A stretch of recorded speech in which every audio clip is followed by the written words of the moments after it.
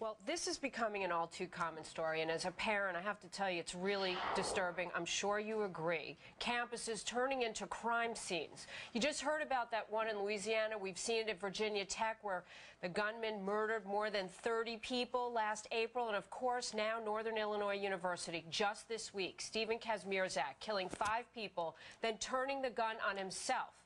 Turns out that the gun dealer who sold handgun accessories to Kazmierczak, we should say not the actual guns used, is now speaking out. I, I was just shocked, absolutely 100% shocked. It's just, what are the chances like this, that something like this could happen twice in, inside of a year's time? This, this uh, guy passed all the background checks, and you can't stop a crazy person from doing crazy things is, is really the point here, I think. These tragedies are leading some to believe that violence could be stopped or at least less people killed if students and teachers were allowed to carry concealed weapons on campus, of course, with a permit.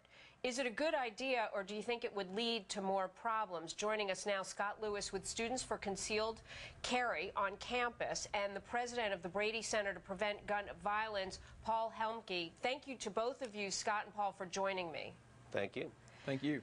Scott, let's be clear about what you're saying should happen. Under what circumstances do you believe permits should be issued for students and teachers to carry guns on campus?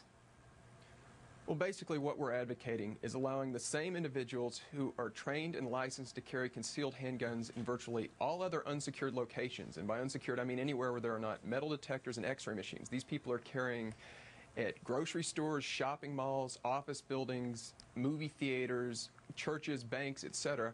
All we're saying is let these licensed individuals carry their concealed handguns on college campuses so that you'll, you'll stop putting the, these individuals at a disadvantage against dangerous criminals who have no regard for school policy or state law.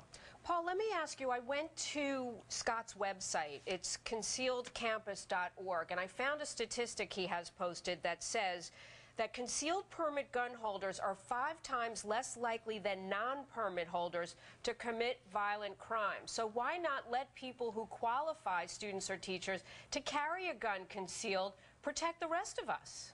We, we've got an epidemic of suicide shooters out there, and the way to stop these suicide shooters is not to put more guns into the mix, it's to make sure these people aren't getting these. These are people that aren't deterred by uh, somebody with a gun. They want to be killed. They kill themselves pretty quickly.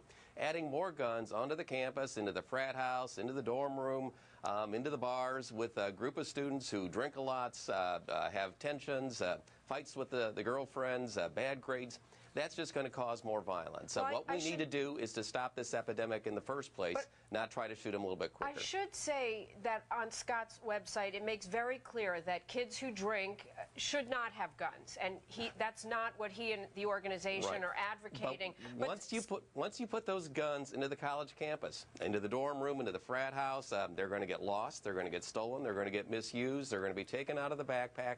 Adding more guns into the mix is just going to make all of us more dangerous. And it's interesting, most states don't even tell you who has concealed carry permits. So to have any statistics that try to show that uh, that these people aren't uh, committing the same crimes is, is ridiculous. There are stories every day where me, someone with a concealed carry permit is doing a shooting. Paul, let me bring up with Scott that this this particular killer who did commit suicide as well as take the lives mm -hmm. of five others, Scott had a permit.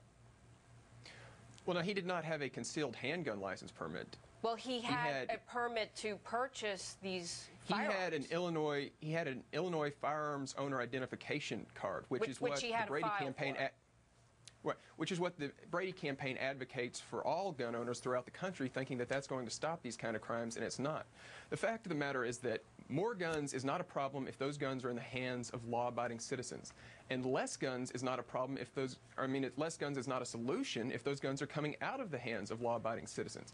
The, the, the, fact is that 11 U.S. campuses, including Colorado State University and all nine public colleges in the state of Utah, currently allow concealed carry on campus and have done so for a combined total of 60 semesters without an incident of gun violence, without a gun accident, without a gun theft.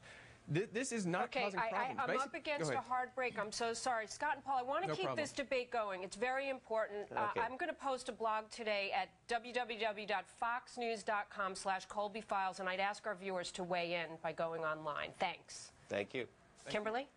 All right, and we'll be right back. You don't want to miss it.